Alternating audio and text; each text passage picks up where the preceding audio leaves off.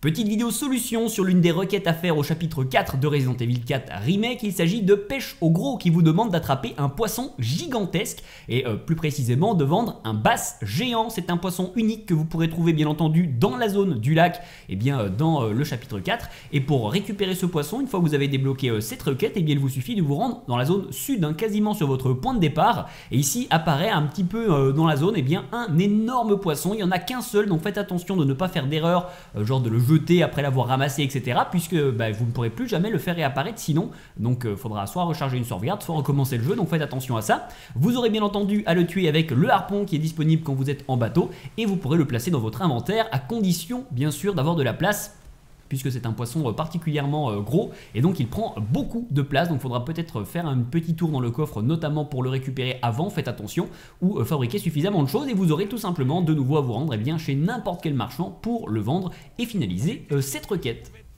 Si vous avez besoin de plus d'aide sur le remake de Resident Evil 4, il y a mon guide complet qui est disponible sur mon site guidejeveux.com ou également ma chaîne principale sur laquelle énormément d'autres vidéos guides 100% et astuces sont disponibles.